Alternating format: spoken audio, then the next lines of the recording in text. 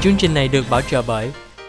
Happy Chew Easy chuyên bán nệm cao su cứng chống đau lưng sản xuất tại Mỹ 714 897 6100 và 714 487 7889.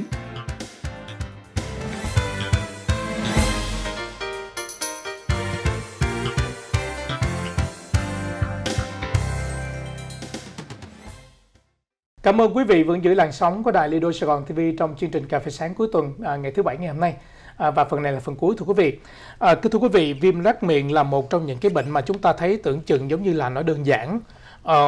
một người mà khi mà chúng ta bị viêm, bị chúng ta bị lở miệng hay bị loét cái miệng hoặc là lưỡi hoặc ngay lợi của chúng ta đó thì uh, có thể là nó kéo dài vài ngày hoặc là một hai một hai tuần là nó hết uh-huh. nhưng mà một số người người ta khi mà chúng ta cảm giác là cái bệnh cái lét miệng của chúng ta hay lét lưỡi hay là cái lợi của chúng ta mà nó kéo dài quá nhiều ngày và nó cứ tái đi tái lại thì chúng ta nên để ý đến cái nguy cơ là chúng ta bị ung thư miệng thưa quý vị uh-huh. đây là một cái bệnh mà chúng ta tưởng chừng giống như là nó đơn giản không để ý nhưng mà thật sự nếu như mà chúng ta không để ý và quan tâm đến những cái vết lở vết loét thường ngày thì nó có sẽ gây đến cái tình trạng là tổn thương và gây ra cái ung thư cái vòng họng của chúng ta hoặc là ung thư miệng ung thư lưỡi. Rất là nguy hiểm. Và ngày hôm nay lê thái đưa đến quý vị những cái viêm ờ, những cái nguyên nhân mà khiến cho chúng ta bị viêm loét miệng. À, đầu tiên á, thì à, nếu như mà chúng ta có một cái chế độ ăn uống không phù hợp thì có thể là chúng ta sẽ khiến cho những cái lượng mà giống như là dầu mỡ nè hay những cái đồ ăn cay nóng nó sẽ gây khó chịu và nó dẫn đến cái tình trạng là cái cơ thể của chúng ta bị nóng ở bên trong dẫn đến cái sự xuất hiện của những cái vết loét miệng ở trong cơ thể của chúng ta ở trong miệng của chúng ta. Và chúng ta nên cải thiện cái chế độ ăn uống kịp thời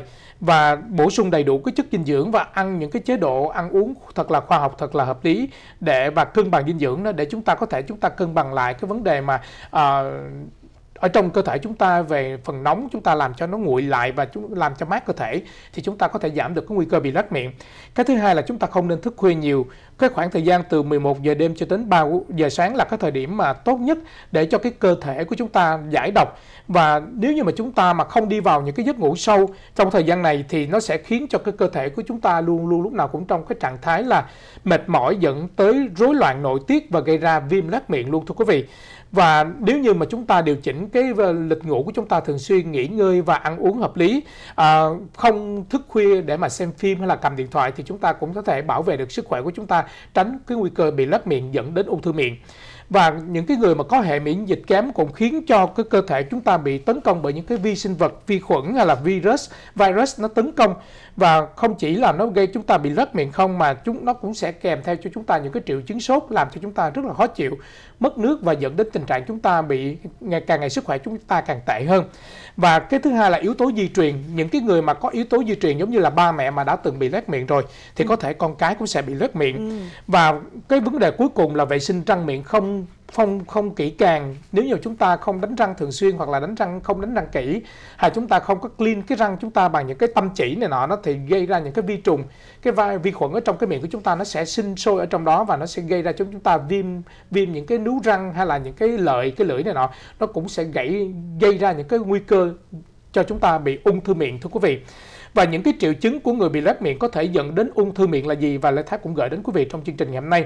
Nếu như mà chúng ta bị loét miệng không chỉ cảm thấy là chúng ta khó chịu trong miệng mà một số người có phản ứng là bất thường trên cơ thể, đặc biệt là ảnh hưởng tới giấc ngủ hoặc là mất ngủ. Một số người thì ờ, khi mà bị viêm loét miệng nó có khả năng phát triển thành ung thư miệng giống như là người ta có biểu hiện giống như là chán ăn nè, buồn nôn, sốt cao và lúc này thì chúng ta không được nên chủ quan và cần đến bệnh viện để khám và điều trị kịp thời để tránh những cái trường hợp đáng tiếc nó sẽ xảy ra về vấn đề ung thư miệng, ung thư lưỡi hoặc là ung thư vòm họng. Đây là những cái vấn đề nó vô cùng quan trọng trong cuộc sống của chúng ta. Chúng ta nên bảo vệ sức khỏe của chúng ta bằng cách là chúng ta theo dõi cái miệng chúng ta hàng ngày ừ. và ăn uống hợp lý, vệ sinh hợp lý. Cảm ơn Lê Thái, đó là một cái tin rất là hữu ích nên quý vị nhớ kiểm tra à, mỗi ngày cần gì thì đi khám bác sĩ à, ngay. Thì bản tin kế tiếp đó là như muốn nói về trẻ em thưa quý vị từ 2 từ à, 24 tháng cho tới 2 tuổi. Thì quý vị thấy đường à, nhìn đường thì ngọt ăn vô thì rất là ngon. Thưa quý vị cảm thấy rất là thích. Nhưng mà đường rất có nhiều tác, tác hại và đặc biệt là cho trẻ em. À, thưa quý vị như quý vị cũng biết là trẻ em không có thích cái gì mà đắng hết. Đó là cái điều tự nhiên cái quy trình tự nhiên khi sinh ra là thích ngọt và ngọt càng nhiều hầu hết 99% là trẻ em thích ăn ngọt. Chứ cho mà đắng vô một cái là dục đi liền thì theo của trường đại học Pittsburgh, một trong những chuyên khoa của về nghiên cứu về public health, về sức khỏe của bà mẹ và trẻ em, thì các chuyên gia khuyên là không nên cho trẻ sơ sinh từ 12 đến 24 tháng tuổi là cho ăn những cái thức ăn mà có thêm đường ở trong đó. Thì những cái thức ăn đó là bao gồm siro hoặc là mật ong làm nhân tạo và trong đó có những cái đồ ăn, đồ uống trái cây, có những đồ uống trái cây người ta bỏ đường vô rất là nhiều, không có phải là à, thực chất về trái cây thưa quý vị. Thì cái điều đó rất là phổ biến và một trong sau đây thì họ những cái nhà chuyên gia họ nói cái lý do tại sao là khi những trẻ em ăn những cái đồ uống mà có đường nhiều thì không tốt. Không giống không giống như những trái cây như là sản phẩm từ sữa rau bánh mì và các loại ngũ cốc. Đường được làm tự nhiên trong những cái chất này những cái đường tự nhiên thì rất là tốt. À, còn những cái đường mà họ bỏ thêm vô để làm cho ngọt thì làm phải cho trẻ em hạn chế lại hoặc là không ăn luôn. Cái lý do à, là tại sao thì đây là cái lý do là từ khi sinh ra đến 24 tháng sự tăng trưởng và phát triển thích hợp đòi hỏi rất là nhiều calorie và chất dinh dưỡng từ trẻ em. Thực phẩm và đồ uống có nhiều đường bổ sung có cung cấp rất là nhiều calorie được gọi là calorie rỗng calorie rỗng rỗng và trong đó có rất là nhiều chất dinh dưỡng và cung cấp thực phẩm có thêm đường cho trẻ em từ sơ sinh đến 24 tháng tuổi là có vấn đề. Vì trong cái giai đoạn này trẻ em ăn rất là ít nhưng nếu trẻ em mà ăn những cái thức ăn mà có đường nhiều trong đó thì làm cho trẻ em no rồi thì không còn chỗ để cho những chất dinh dưỡng khác nữa thì không đủ để cho trẻ em phát triển. Thì khi đường nhiều thì sẽ xảy ra những cái uh, hậu quả của sức khỏe đó là kiềm chế cái sự phát triển của trẻ em. Thay vì phát triển bề cao thì phát triển bề ngang và bị béo phì, như là bệnh tim mạch và bệnh sâu răng khi mà lớn lên. Những trẻ em có thể học cách, nên dạy trẻ em học cách chấp nhận những cái thức ăn mặc dù nó không ngọt, mặc dù nó không ngon, nhưng mà có nhiều chất dinh dưỡng và có chất đắng, như là rau hoặc những cái chất mà uống trái cây mà nó có nguyên chất từ trái cây, ngọt từ trái cây tự nhiên chứ không phải là những chất đường hoặc là kem hoặc là da ua hoặc là những cái chất như là kẹo. Thì trong đó người ta bỏ đường rất là nhiều, thưa quý vị. Và cái điều thứ hai, người ta nói rằng 85 trẻ sơ sinh ở Hoa Kỳ đa số là tiêu thụ, ăn những cái thức thức ăn mà có thêm đường mỗi ngày. Thì những cha mẹ và chúng ta nên chăm sóc những trẻ sơ sinh thì để loại bỏ cái những cái cái thức ăn mà có nhiều đường nhân tạo thì phải nên như thế nào? Thì những chuyên gia này họ đưa ra, đó là một trong những sáu vấn đề là phải nhìn vào nhãn thực phẩm khi đi mua và chuyển sang đồ uống ăn lành mạnh hơn và khi mà đi mua thì phải nhìn trên cái label nó có nhiều loại đường cấu trúc khác nhau và biết chi tiết ở trong đó. Và chú chú ý chú ý đến những cái gói đồ ăn mà có đường họ ẩn ở trong đó. Tức là ví dụ một cái cái cái cái gói đồ ăn thì trong đó có 20% trong đó là sugar hoặc là đường ở trong đó, thưa quý vị. Và nên thử thường xuyên và nên cho trẻ em ăn những cái đồ ăn, nhất là mặc dù rau có chất đắng thì nó vẫn tốt hơn. Dạ vâng, cảm ơn chị Như Huyền và chúng ta cũng nên kiềm chế cái độ ăn ngọt của trẻ em à, trong cái thời điểm mà chúng ta uh, trẻ em đang phát triển thưa quý vị. Uh, và cái thưa quý vị, chôm chôm là một trong những cái trái cây mà vùng nhiệt đới mà hầu như là cái dân Việt Nam của chúng ta rất là mê. Ừ. Chứ không phải dân Việt Nam không mà dân châu Á. Bây giờ Hoa Kỳ cũng thấy một số người người ta ăn rồi. Uh,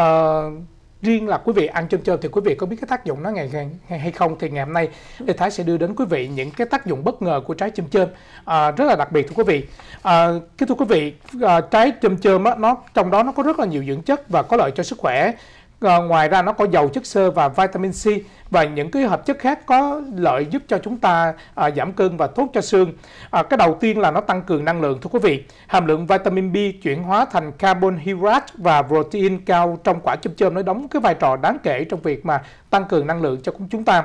Rồi, trong khi đó thì quả chôm chôm nó cũng hỗ trợ chúng ta giảm cân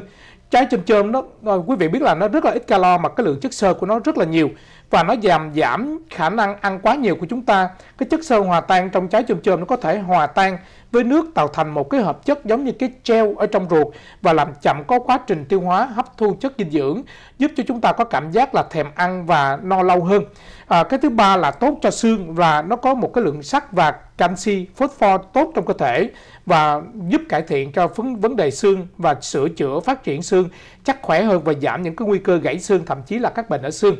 cái ờ, điều thứ tư là cái đặc tính kháng khuẩn và sát trùng thưa quý vị. Chôm chôm nó có tác dụng là kháng khuẩn tiêu diệt mầm bệnh đặc tính sát trùng trong quả chôm chôm. Nó đóng vai trò bảo vệ cơ thể và chống lại hàng loạt các dạng nhiễm trùng rút ngắn thời gian làm mà chúng ta làm lành vết thương cũng như là hình thành của dịch mũ.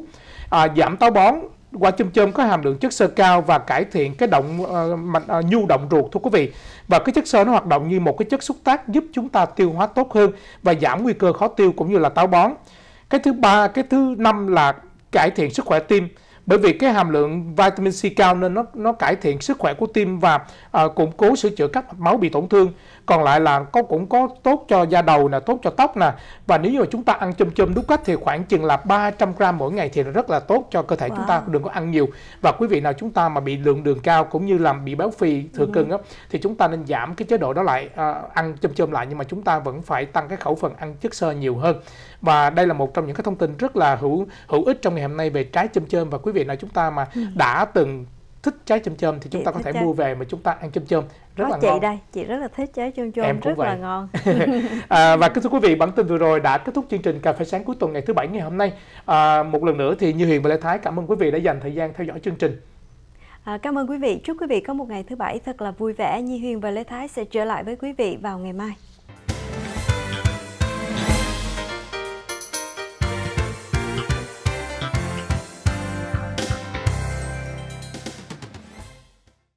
Năm mới hãy làm điều gì đó cho sức khỏe của quý vị. Hãy đi thử các xét nghiệm có thể phát hiện cho ung thư trước khi ung thư phát triển. Nếu phát hiện sớm bệnh ung thư, khi đó có thể dễ dàng điều trị hơn. Trong cuộc sống của chúng ta nên kiểm soát thường xuyên vì xét nghiệm ung thư cứu sống nhiều người. Ở tuổi 25 hãy xét nghiệm cổ tử cung, ở tuổi 45 bắt đầu kiểm tra đại trực tràng và vú. Ở tuổi 50 hãy thảo luận về việc kiểm tra phổi với bác sĩ. Nhiều xét nghiệm có sẵn miễn phí hoặc được bảo hiểm chi trả. Quý vị nên nói chuyện với bác sĩ về những xét nghiệm ung thư phù hợp với quý vị. Hãy gọi 1800 227 2345 1800 227 2345